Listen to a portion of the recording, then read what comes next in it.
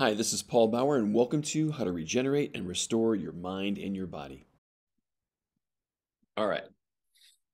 So, a little primer about uh, why I'm doing this um, and why this is so fascinating and so interesting and so inspiring to me. And uh, those of some of you that might remember my story with my hips, with the uh, degeneration story uh, that happened not 10 years ago, not even five years ago. It happened. This is after my wife passed away uh, but not even right away. It took about a year or so, and it just it it just went kind of kooky and crazy. Long story short, without going into that long-winded story um, of the ups and downs and the peaks and valleys, I discovered that at the core of it was an emotional issue. Of course, you can imagine the emotion of of your life partner flying over the moon in her words you know when she left the planet at least in terms of her three third dimensional body. So, and her name is Susan, Susan Castle. Bless her soul. Bless her heart. She's with us today because she's in my heart. And many of you that either met her, heard her, saw her, felt, read, etc., she's in our hearts as well. And the uh, the the the trauma that happened uh, was not uh, felt all right away because you know sometimes we feel overwhelmed uh, it's too much right? So the body takes it into what's called cellular cellular memory. And the challenge with cellular memory is um, it goes in at some point right into your mind body. And it stores itself into this cellular network from your nose down to your toes right? It's not just in the back of your quote unquote subconscious mind because as as the famous uh, subconscious mind and neurotransmitter researcher Candace Pert used to talk about your body is your subconscious. Think about it that way. And we're going to get into this in this presentation and some of the whys and, and know, why the body stores it, why does it hold on to it, and how can you release it so that you can regenerate and restore your mind and body. Okay. So here's a question Have you ever noticed why and how some 70 and 80 year olds are in better shape than many who are half their age. I'm sure you've seen a report, you've seen a, a marathon, you see 70, 80 year olds pass, you know, to get into the, the uh, finish line. Um, and uh, you're, you're thinking to yourself, wow, when I was in Hawaii watching the Ironman, I used to see people that were twice my age crossing the finish line. And I thought to myself, how the heck did they do this? Amazing. Now, so what keeps them young? And there's this man, his name is Kanyo Polosa. He is, uh, well, we're going to wait for a moment to tell you how old he is. So he finished first in a one mile race. All right. He's definitely older than me and you. So the next thing is he's actually 93 years old. 93 years old. He finished first in a one mile race where now he wasn't walking, he was running. Interesting. Now, this young lady, her name is Florence Baron, is 84 years old. She finished first and set the record for the 80 year old bracket. Interesting. So, if you're like me and you see someone of this age or greater do something of that achievement, it's not just about achievement, it's what they were able to do. What do you say to yourself? Do you say to yourself like, "Oh, that's just something they're they're different," or "Wow, if they can do it, maybe I can do it. Maybe not running a race. Maybe that may not be your marathon. Maybe it's more so like, maybe I can get over this issue that I'm experiencing in my mind body. I hope that you feel that. Otherwise, you probably wouldn't be listening to this seminar tonight or watching it as a video. So maybe it's time that we redefine aging. Yeah, what is it? That's my question to you right now. What does aging mean? We're going to look at it this from different perspectives. All right. Think about it. Close your eyes for a minute. What does aging mean to you? First thing that comes to you, you know, if you've taken if you're taking notes, write down your response from your subconscious because that's the first thing that comes is subconsciously. How do you define this thing called aging? And what's your level of happiness today relative to how old you are? Are you happy at the age that you're at? And by the way, if you're 20 and you're listening to this, or 30, we're not we're not talking to just an audience that's let's say above 50. or 60. We're talking to anybody, and you'll see why in just a moment, of a survey that was run, that the concept of aging affects literally everyone. Mm, interesting. Now, your emotional balance is a key to how you think and how you feel and how you perceive and how your body encodes what aging is. I once met a young lady and she was flirting with me. This was just a couple years ago. And she was like half my age. And I said that to her. I said, Well, you know, you're kind of half my age. She looks at me and she goes, Paul, she goes, You're, you know what I'm going to say? Age is just a number. She meant it. I was flattered, of course. I mean, I was clearly old enough to be her father. And as I drove away that day, I had this big smile on my face. Did I feel young? Absolutely. You know, it's like being carded at a store. And I thought to myself, she's right. Wow. So here's a question to you that I heard many, many years ago. If you didn't know how old you are, how old would you be? Think about that. Write that down. Usually that brings a smile to people if they're not already way advanced in terms of their age, internal age, I'm talking about, right? It's kind of an inspiring question.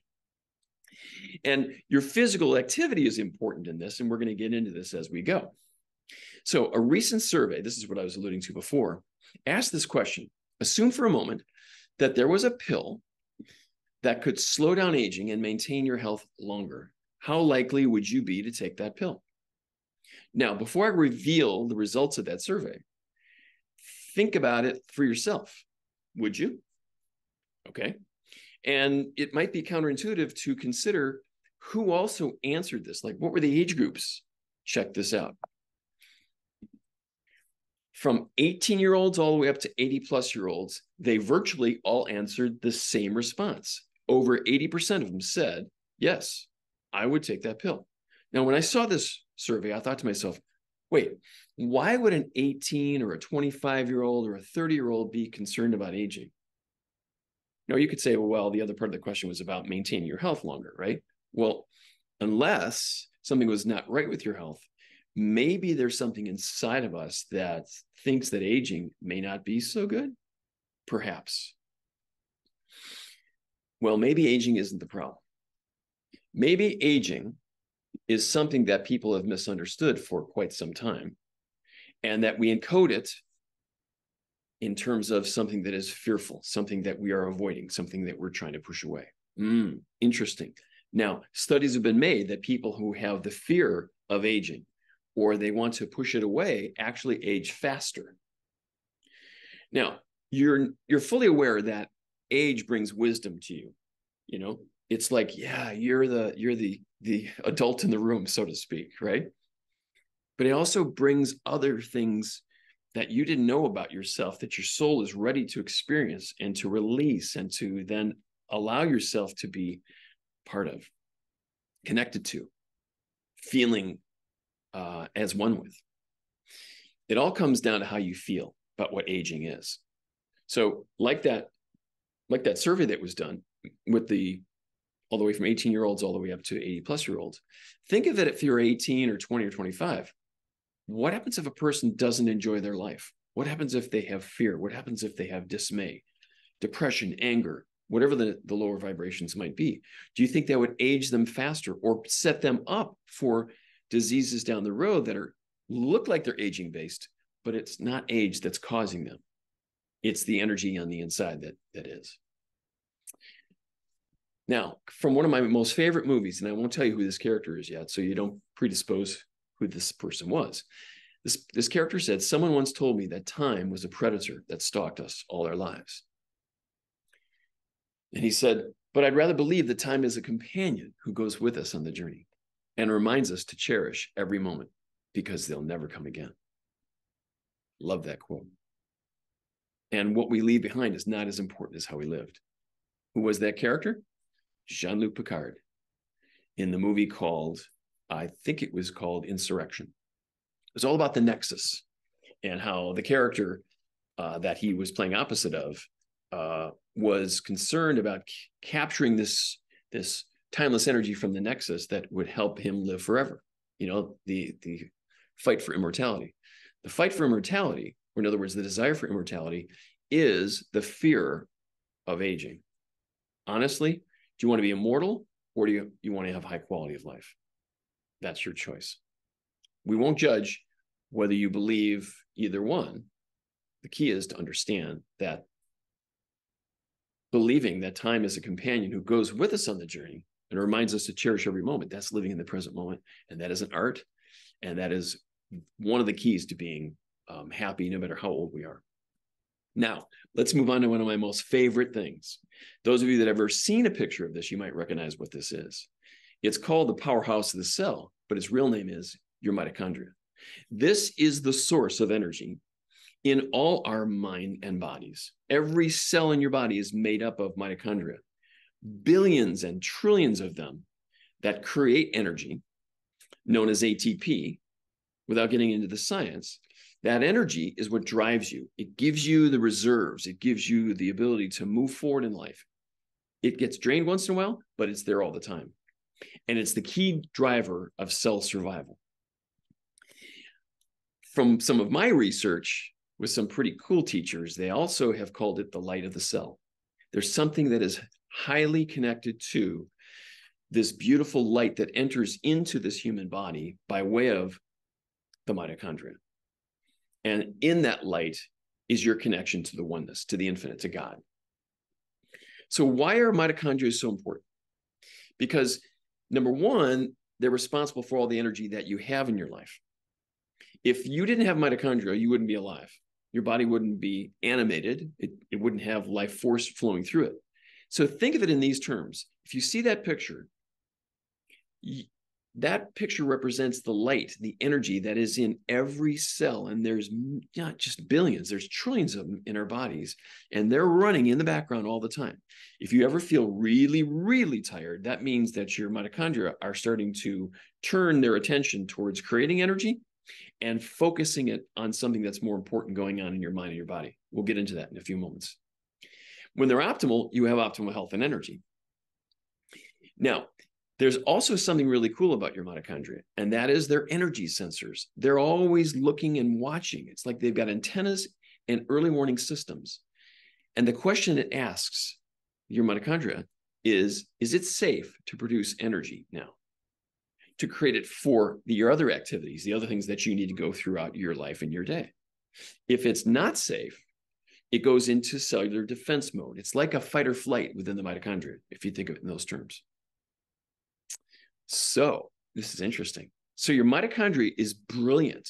It is protecting you energetically. So, if some pathogen, some issue begins to affect your immune system or your organs, and those pathogens, whether they be viruses like COVID, bacteria, etc., when they start entering into your system or affecting your energy field, what happens is your mitochondria moves its attention away from producing energy on the outside of your body in other words, movement and working out and, and moving forward in your day. And it focuses on these internal systems of your body that you need in order to maintain your life.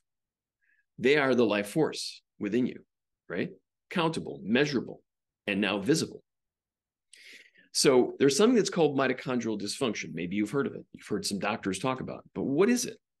It's what happens when there's stress that builds up, and not just normal stress, but I mean large amounts of stress. And then when you have lack of sleep or lack of exercise, you're taking drugs of any kind, whether that be pharmaceutical, recreational, are there others? I guess. Those factors have a tendency to create a dysfunction, a drain in your energy of your mitochondria. Why is this important? Because whatever you're feeling today, if it's other than optimal, at some level, there's something that is taking energy down within your mitochondria, the life force within you. Let's say you practice energy work. Let's say that you do all the great stuff, but you still feel not quite right. Hmm. Maybe your body is trying to get attention or your attention. So you'll listen to it. And we're going to touch on that more. So, what are some of the symptoms of mitochondrial dysfunction? Low energy and fatigue is the first one. That's the one you really start noticing it, going, oh, wow. Now, your body's trying to get your attention at this point. Some people keep on moving past that because of their jobs, their families, traumas, whatever it might be. No judgment. But the other symptoms are the big diseases the heart disease, cancer, arthritis, diabetes, obesity.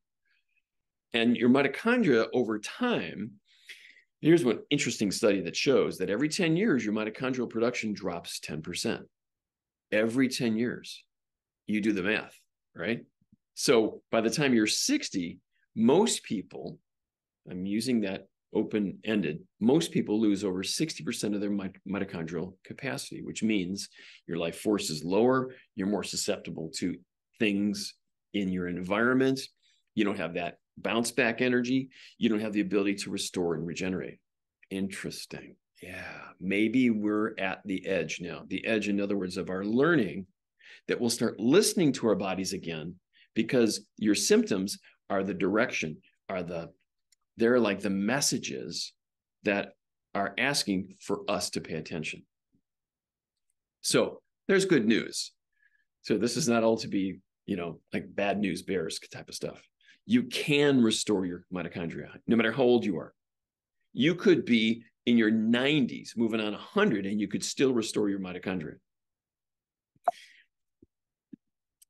Now, vitamins or supplements, they can help, but they won't address the cause of what drains your mitochondria. So you can take all sorts of things like ubiquinol, not CoQ10 if you're over 50, by the way. Ubiquinol is the better version of that. Uh, PQQ, and there's just a number of supplements that you can take, right? But without addressing what's underneath it and drawing or draining your mitochondria, you won't get to the cause. You have to discover what's draining your energy and heal it. So when you do the steps that normal people would do, you and me, we would normally say, okay, I've read things about mitochondria. I looked at that article the other day. They said exercise will help restore your mitochondria. Cool.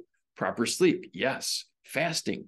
Melatonin, which is one of the keys to helping restore. But by themselves, they we're only working at the physical level. So let's take let's go a little deeper. Let's switch over to something that is just as important as your mitochondria, and that is a thing called your telomeres.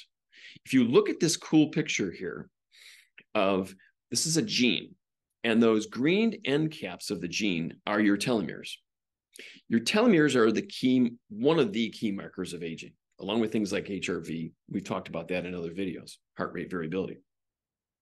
Now, your telomeres are this interesting, cool kind of thing that helps your cells every time they replicate become as close to the original as possible. But as as you age, as we all age, that replication just loses a little bit each time.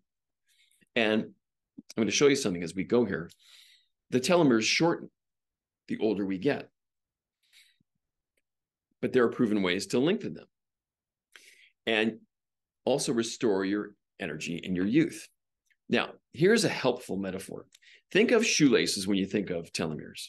And you can see that kind of like frayed version of that shoelace on the right hand side. On the left hand side of that picture is like a perfectly shaped shoelace end. So the frayed edge is the aging effect. That's when you lose telomerase, which is the enzyme, and your telomeres begin to diminish over time. And the thing that wears them away most is stress, but there are numbers of stressors in our lives. And any of you that have been through any type of trauma, any type of issue like loss of someone in your life, loss of a, of a job that you've worked at for some time, loss of income, loss has a tendency to affect us and stress us at very deep levels, not standard stress, not, okay, the news of the day, big events. COVID was a major event that stressed literally everyone across humanity at some level. So the next step to understand is the secrets of your telomeres. And the first one is the less stress you have, the longer your telomeres. Okay, you'd say, well, that's kind of like that's totally intuitive, Paul. Right. Yeah. And and yet why can't we control our stress most of the time, or at least times when you wish you could? Hmm. So the more compassion you have for others, this is something that I read in a study just recently. The longer you live, the longer your telomeres. That's what they're noticing in people that reach into their 80s, 90s, and become centenarians is that they're compassionate. They love life. They enjoy life. There's happiness. They've got it kind of like mastered. They've got life down. So their telomerase is in some cases better than someone who's in their 40s or 50s. Interesting. So if you remember the pictures that I showed you at the beginning of the two people that won those races, how do you think their telomeres look? How do you think their mitochondria look? They're well past 80, and yet they act and feel younger than people that are often in their 30s, 40s, or 50s. This is cool. This is practical. This is not just some kind of a, a concept that we're talking about here. Now, let's look at something that when I first did the research on this, I thought, whoa, it's a little bit daunting when you first see it. Over time, from when you're 20 years old, you've got about 10,000 base pairs of telomeres. By the time you're 60, you lose half of them. And when you get into your 80s and 100 level, you've lost, you know, probably 60, 70, 80% of them. Hmm. But they can be restored. So this is the average person in our society who and the experience they have with their telomeres. Now, here's something kind of cool. Um, in my research, I found out that there is a feedback loop between your telomeres and you and what you're thinking and what you're feeling. They absorb the instructions you give them. They're listening all the time. They're antennas.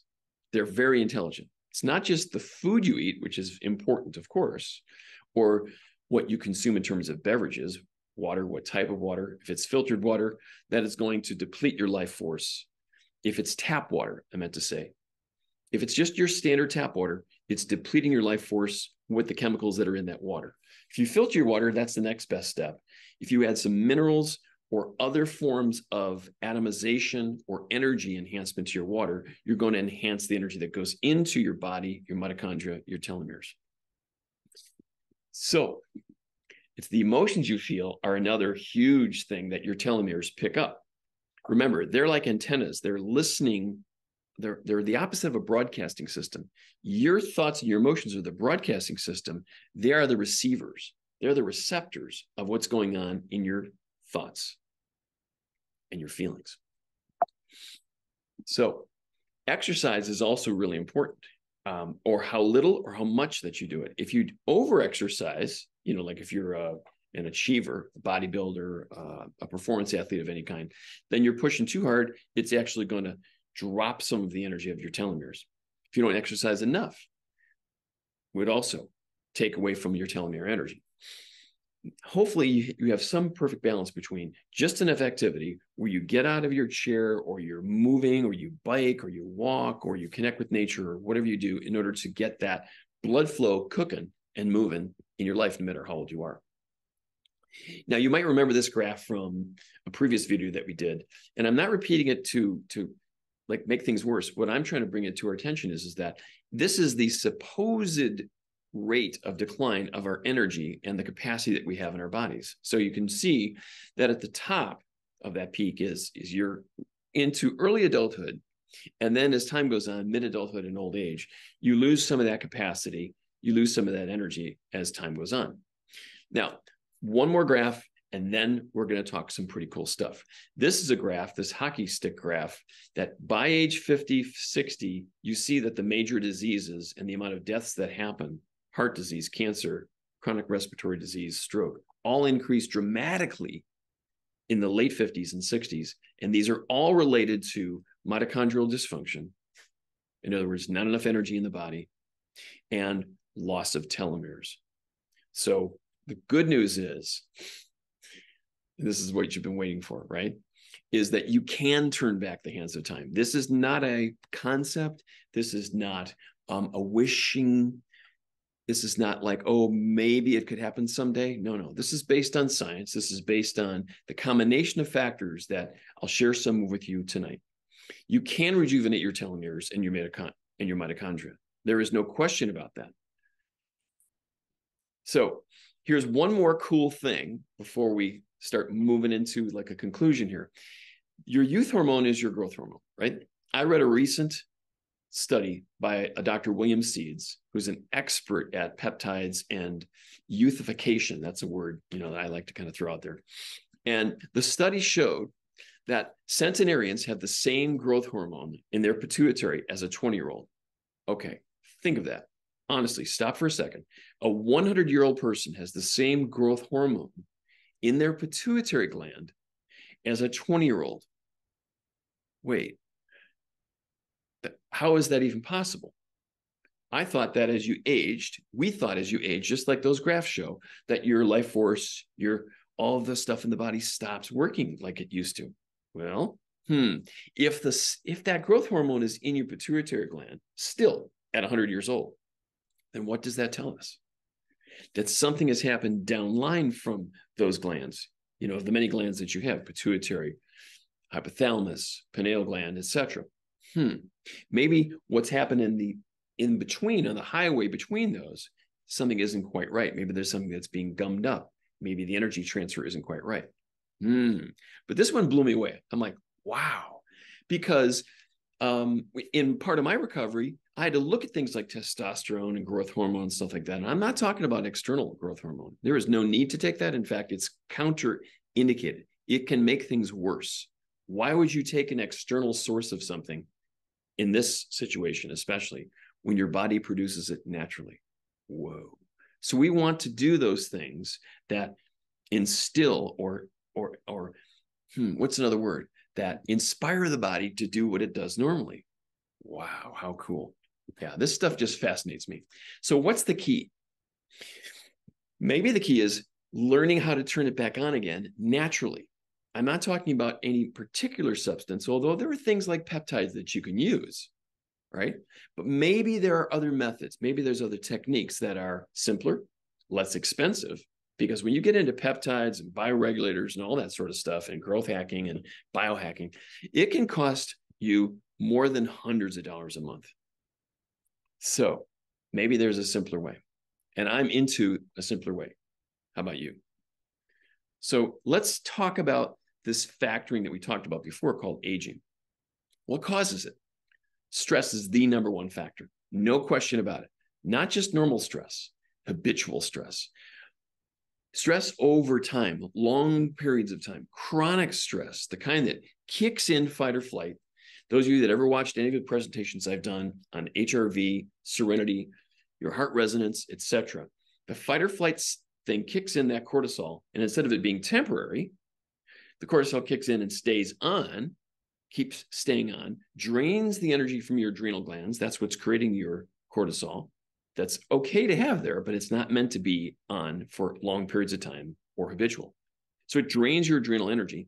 So then some people take coffee and other substances to boost it unnaturally. And then what happens is, is that aging starts kicking in in the background, and people start asking themselves, "Why? Am, where's my energy? If there's one thing I could solve right now, Paul, it would be that I'd get more energy. Because if I have more energy, oh, I could do pretty much anything. Yeah. So think of what we talked about before. Your mitochondria is affected by everything you think, everything you feel, everything you take into your body, who you surround yourself with. And there's a half a dozen other factors that come in. Poor diet and nutrition is a big piece in what happens in most people's um, energy, their aging issues, etc. But let's say that you've done the right things. You've got the right diet. You've got organic foods. You've got nutrients that you add to your to your diet, and you still feel low energy or something isn't quite right. We're going to talk more about that. Or there might be a lack of exercise. That's one of the other key causes of aging. One last one is poor sleep.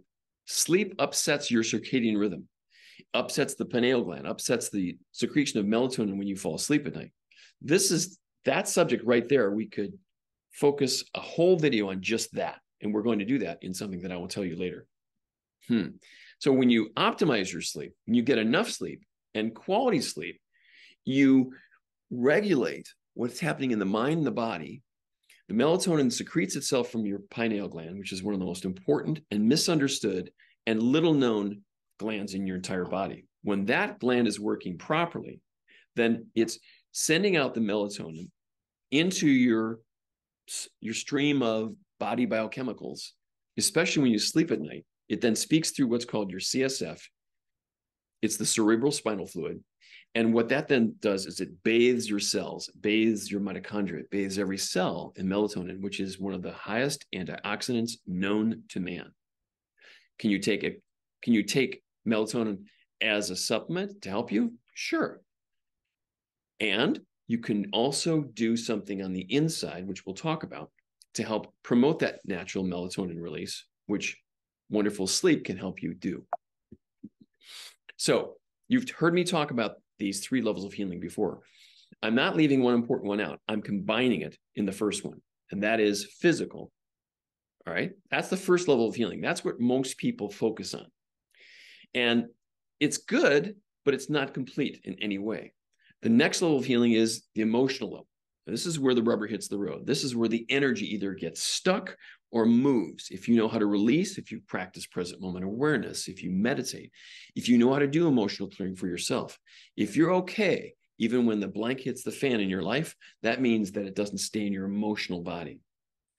And the third level, I think, is equally as important as the emotional level, and that is the energetic level. And I'll describe to you a little bit more about what this means. When you've got these three working together in a triad, in a, in harmony, what you're going to get is is a is a synergy that helps you the most. Now, the biggest shifts that I've seen in my experience for my own self and people that I work with and people that I've studied, you know, for a long period of time are at the emotional and the energetic levels. And the reason why is because this is the these are the levels that create the physical. So what do I mean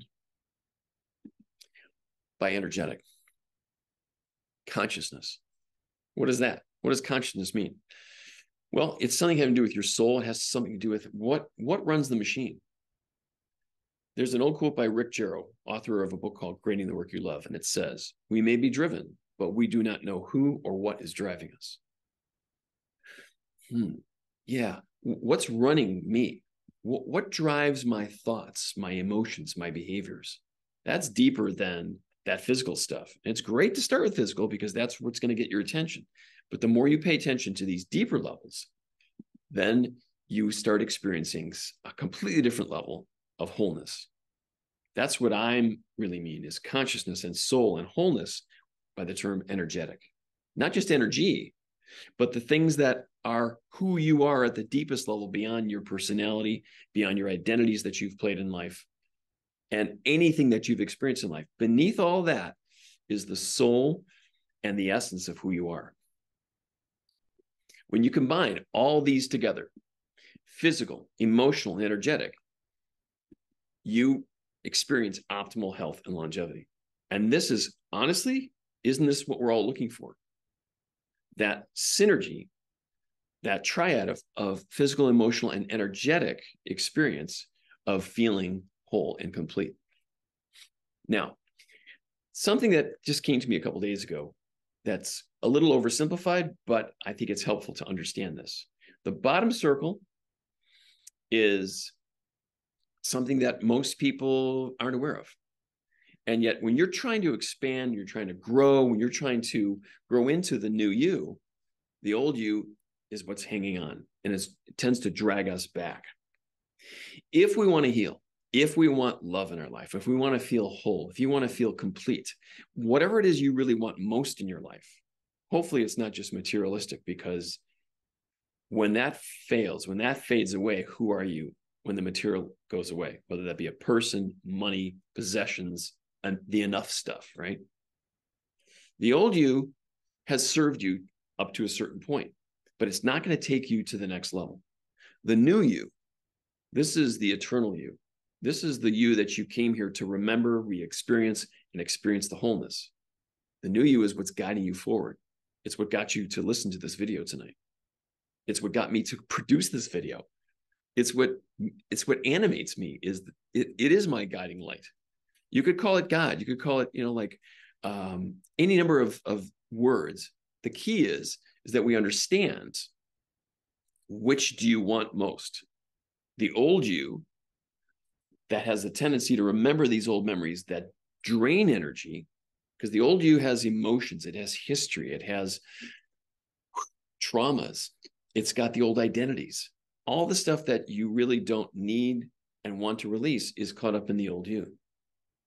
The new you, the real you, the essence of who you are, is what you are moving towards. And this is, and that part of you is going to what is what's going to revitalize your mind and your body. So I want you to just kind of think about that for a moment. Like, close your eyes just for a moment. I want you to feel for just a few moments. Feel where you are. Tune into your body. Take a couple nice, slow, deep breaths. And what do you feel? What are you noticing about yourself? Is there something that's dragging your energy down, or do you feel inspired? Are you wondering about the problems of yesterday going into tomorrow? Or are you longing life is going to not pass you by? The new you is what's guiding you. The new you is what will help you revitalize your mind and your body. The old you is what I invite you to release and let go. The old you is not going to carry you to the next shore in your life. It's not going to revitalize you. The new you is the restored you, is the revitalized you. And I invite you to experience that. And so here's some kind of cool news. Um, I've created, and I'm in the midst of creating a new program called Regenerate and Restore. What it's about is helping you remember how to connect to this new you. It's an ongoing membership club where you learn and practice the best ways to optimize and restore your health and vitality. It's based on the 30 years, actually more like 40 or 50 years in my life of the things that I've learned. And especially when my hip issue came in, what I had to remember how to do and let go of. And man, the emotions were deep, folks. I mean, that was the thing that really hit me the hardest that I had to release. And once I did, that new me just came out just naturally. And I'm out the other side of it. And I hope that you understand that when we are given something, that we're supposed to share it. And that's what I'm here to do is to share with you how I did this, not just my method, but the best methods combined into one, simplified, and I would say fairly inexpensively. So here's what you get with the Regenerate and Restore Club. First of all, what I call the core meditation process. It's a practice that you can do by yourself. And there's also another way that I'll share with you in a few moments that is an absolute game changer. This is not a normal meditation method. This is something that literally starts turning on and revamping your whole energy system in a way that will blow your mind. And that's a really good way to say it because our old mind is not going to get us to where we want to do or want to be in our lives. You know, the new you is brought about through things like this core meditation process. You also get what's called the release process, which helps with this emotional piece, which is so incredibly difficult for most of us, especially if it's a trauma, if it's an old issue that's in your family system, which is where most of the stuff hangs out. If you've got job issues, income issues, health issues, whatever that issue might be, the release process helps you unwind it from your mind, from your emotional body, from your physical body, from your karma. That's hugely important because in many cases when i work with clients i we find we discover that what's bothering them isn't happening because of their self today. It's something that preceded them even in this lifetime. Whether you believe in that or, or not isn't the important part. The the key is is that you understand that we all understand that we sometimes carry things with us that are hereditary that are mm, not exactly um, our issue it could be our ancestors' issue, but it's still in our DNA and our genes. So the release process helps you release that from your mind body energy field. So the next thing is not just this, the serenity breath that many of you have tried, practiced, etc., but there's a level two version of that, something that I practice literally every day. I almost don't get stressed anymore. I mean, it's not like I'm completely impervious, but what used to bother me, it just no longer does. And that is primarily due to the serenity breath process. I started practicing it in dilig- with diligence about two years ago. Then I started teaching it to people. They started getting it. Then I realized there was another level of it because it doesn't matter if it's trauma, it doesn't matter if it's deep emotional wounds, it doesn't matter if it's physical issues. The serenity breath process, it just regulates the sympathetic and parasympathetic nervous systems in a way that nothing else that I've ever tried does. And it's measurable, measurable through you guessed it, HRV, heart rate variability, through Serenity, Serenity HRS. Heart resonance score is what that stands for. So, um, You also get something that honestly I feel like just this is just uh, like the coup de grace. Um, weekly group meditation sessions. And why this is so important is because you can practice this core meditation process on your own, and I think you're going to get some pretty amazing benefits. But those benefits, they dramatically are enhanced when you practice them in a group with our group in our regenerate and restore program it, through what's called the synergy effect it's not one plus one equals three it's like there's a factorial to it there's an exponential or a logarithmic thing that happens when we start practicing as a group when we're together as a group so you know this for yourself if you've ever been to a seminar it's so different than if you sat in a room and you read that same material if you go to the seminar, there's people sitting with you, you're focused. Everyone is focused on that one thing that they're learning. If it's meditation, your meditation skills get not dramatically better. I think it's bigger than that. I think that I've, I've experienced that my meditation skills or my understandings of whatever things that I've learned in person and done with group have taken them, taken me and my fellow students to completely new levels and I'll share, I would love to share stories with you, but I want to keep this brief tonight. So when we connect and practice with an inspired group of people, keywords there are practice and inspire. I'm sorry, inspired, connect, and practice. The real key there is, is that when we all come together, that's the first factor, and you're inspired, that means our hearts are open. Your energy is just like it's as big as the room you take on different levels of your capacity. You release patterns that honestly on your own you couldn't do. So each week, we're going to have these group meditation sessions where we do the core meditation process. And frankly, you will leave with a smile on your face and in your heart. You'll sleep better on those nights. You'll wake up the next day with more energy. I can promise you this when we do this together. You'll also, um, every time we meet as a group, um, it's going to help you increase the clarity I just talked about, but your life force energy every time we get together as a group. So, how much time does this take? It could take as little as 30 minutes. It's not like two hours. Once a week, that'll help kind of jumpstart you to do it on your own. But every week when we come back together again, the whole group is getting stronger and stronger. Just so cool. Every week, the stronger we become. So, there's a little bit more one of my favorite things um, is that we'll every week you can ask questions and we can all come together or you can take the recordings to learn how to awaken the healer within you so we're going to have q&a calls every week either on a thursday or a friday depending on the time of the year where you can ask any questions of what you're learning whatever that you're you're challenged with whatever that you're in the process of releasing and we'll learn together I'm also going to give you my top 10 supplement list of how to increase your mitochondrial energy and energy in general. So this adds to the formula that we talked about before, not just physical, but the emotional and the energetic.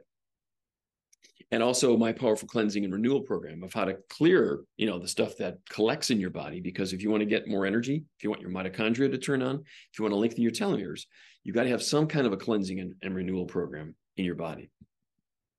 So I call it regenerate and restore. Now, I got one more cool thing. I think this is a game changer. This is what came to me a little over a year ago when my hips were like well into the healing phase. And I'd been doing a lot of research into PRP and stem cells. And, and I, I listened to two researchers, and they said something that was absolutely outstanding. You're going to notice a theme here. It has to do with your mitochondria, it has to do with your telomeres that you can restore them. There's one more thing that's that you have the capacity to restore, and it's your stem cells. So, and a centenarian still has the same amount of stem cells as a young person does. The problem is they go senescent, they go dormant, they're latent, they're not activated. So there's a process that I, for for better better words, it would be that it was just downloaded to me because I was just tuned in one day and it just kind of spoke to me in a meditation. And now I do it for myself to activate my own stem cells. And why is this important? Why are stem cells important?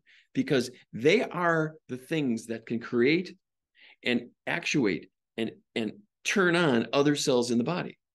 So if you need a healing of any kind, if your energy has dropped, if you're in the middle of a disease state of any kind, dis-ease, your stem cell activity has dropped dramatically. It's a natural thing, just like those graphs that I showed you before. This process, the stem cell activation process, helps increase your mitochondrial activity, your telomere activity, and your stem cells to the point where the body starts healing itself in a way that it wasn't doing otherwise. This is so absolutely, I don't think words can fully describe how amazing this is in the time that we live in now. Because up until just recently, we were told that your stem cells just diminish over time and you can't do anything about it. That's standard Western medicine junk.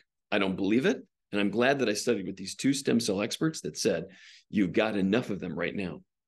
If you've got a wound, if you've got a bad hip or a, a bad knee, or and you've been to some stem cell expert and they quoted you, you know it's at least $5,000. Some are more than 10 grand. And honestly, based on the research that I've done and my own experience, you don't need the external stem cells like we once believed. It doesn't mean you shouldn't get them. It doesn't mean that they can't help you. But why go out of your way? Because these are all cash paid, these are elective, they're not covered by insurance techniques to do that stem cell increase when you can do it within yourself. Is it easy? Honestly, no, I don't think it's the easiest thing in the world. It's a process that we learn.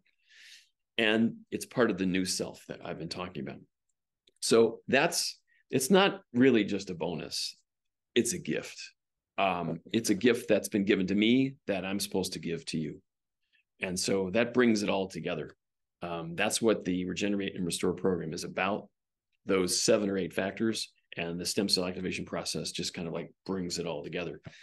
That's what we came together tonight to talk about, not just the program itself, but the ability that you know deep inside. That's what led you to be on our call tonight or to listen to this video that you can restore, regenerate, revitalize, reactivate, and re experience what the life force is within you. It's been a pleasure to serve you and look forward to talking to you more.